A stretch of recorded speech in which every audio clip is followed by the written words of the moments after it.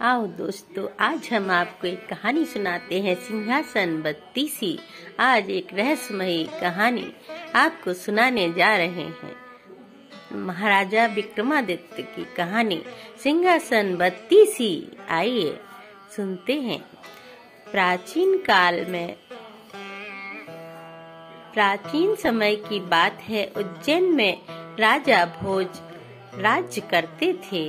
वह बड़े दानी और धर्मात्मा थे। उनके बारे में प्रसिद्ध था कि वह ऐसा न्याय करते कि दूध और पानी अलग अलग हो जाए। नगरी में एक किसान का खेत था, जिसमें उसने कई साग सब्ज़ी लगा रखी थी। एक बार की बात है कि खेत में बड़ी अच्छी फ़सल हुई। पूरी ज़मीन पर तो खूब तरकारियाँ आई, लेकिन खेत के बीचों बीच थोड़ी सी ज़मीन खाली रह गई। हालाँकि किसान ने उस ज़मीन पर भी बीज डाले थे, लेकिन वहाँ कुछ भी नहीं उगा।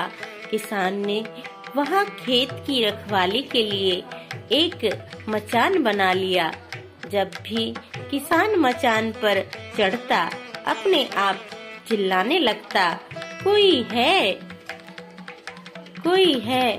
राजा भोज को पकड़ लाओ और सजा दो। मेरा राज्य उससे ले लो। जाओ, जल्दी जाओ। सारी नगरी में यह बात आग की तरह फैल गई। राजा भोज के कानों में भी पहुँची और राजा ने कहा, मुझे उस खेत पर ले चलो। मैं सारी बातें अपनी आँखों से देखना और कानों से सुनना चाहता हूँ। राजा भोज जब उस जगह पहुँचे तो उन्होंने भी वही देखा कि किसान मचान पर खड़ा है और वह कह रहा है, राजा भोज को फ़ौरन पकड़ लाओ और मेरा राज्य उससे ले लो। यह सुनकर राजा चिंतित हो गए। चुपचाप महल में लौट आए। उन्हें रात भर नींद नहीं आई। सवेरा होते होते उन्होंने राज्य के ज्योतिषियों और जानकार पंडितों को इकट्ठा किया। उन्होंने अपनी गोपनीय विद्या से पता लगाया कि उस मचान के नीचे कुछ छिपा है। राजा ने उसी समय आज्ञा दी कि उस जगह को खुदवाया जाए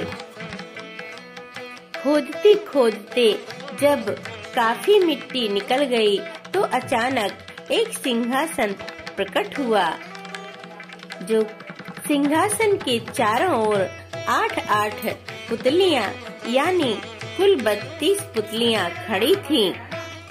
सबकी अचरज का ठिकाना न रहा राजा को खबर मिली तो सिंहासन को, बाहर निकालने को कहा। लेकिन कई मजदूरों के ज़ोर लगाने पर भी वह सिंहासन टस से मस ना हुआ। तब एक पंडित ने कहा कि यह सिंहासन देवताओं का बनाया हुआ है। अपनी जगह से तब तक नहीं हटेगा, जब तक कि राजा स्वयं इसकी पूजा अर्चना न करें। राजा ने ऐसा ही किया। पूजा अर्चना करते ही सिंहासन ऐसे ऊपर उठ आया। मानो फूलों का हो। राजा बड़े खुश हुए। सिंहासन में कई तरह के रत्न जड़े थे, जिनकी चमक अनूठी थी। सिंहासन के चारों ओर बत्तीस पुतलियाँ बनी थीं। उनके हाथ में कमल का एक एक फूल था। राजा ने हुक्म दिया कि खजाने में से रुपया लेकर सिंहासन दुरुस्त करवाएँ। सिंहासन सुंदर होने में पाँच महीने लगे। अब सिंहासन दमक उठा था। जो भी देखता देखता ही रह जाता। पुतलियाँ ऐसी लगती, मानो अभी बोल उठेंगी। राजा ने पंडितों को बुलाया और कहा आप लोग कोई अच्छा मुहूर्त निकालें। उस दिन मैं इस सिंहासन पर बैठूँगा। दिन तय किया गया। दूर दूर तक लोगों को निमंत्रण भेजे गए। तरह तरह के बाजे बजने लगे। महल में खुशियाँ मनाई जाने लगी। पूजा के बाद जैसे ही राजा ने अपना दाहिना पैर बढ़ाकर सिंहासन पर रखना चाहा कि सारी पुतलियाँ खिलखिलाकर हंस पड़ी। लोगों को बड़ा अचंभा हुआ कि यह बेजान पुतलियाँ कैसे हंस पड़ी। राजा ने अपना पैर खींच लिया और पुतलियों से पूछा ओ सुंदर पुतलियों सच सच बताओ कि तुम क्यों हँसी? पहली पुतली का नाम था रत्न मंजरी राजा की बात सुनकर वह बोली हे राजन आप बड़े तेजस्वी हैं, धनी हैं, बलवान हैं, लेकिन इन सब बातों का आपको घमंड भी है। जिस का, जिस राजा का यह सिंहासन है वह दानी वीर और धनी होते हुए भी विनम्र थे परंतु परम दयालु भी थे। राजा बड़े नाराज़ हुए। पुतली ने समझाया महाराज यह सिंहासन परम प्रतापी और ज्ञानी राजा विक्रमादित्य का है।